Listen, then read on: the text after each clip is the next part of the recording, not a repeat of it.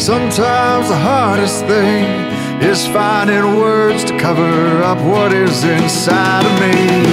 I don't know how I got here. I don't know what's in store.